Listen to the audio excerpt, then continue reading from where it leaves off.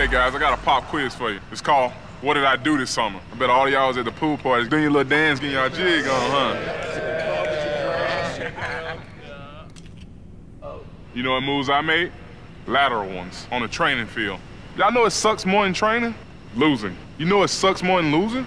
Nothing. Now that's right, Hercules. Nothing.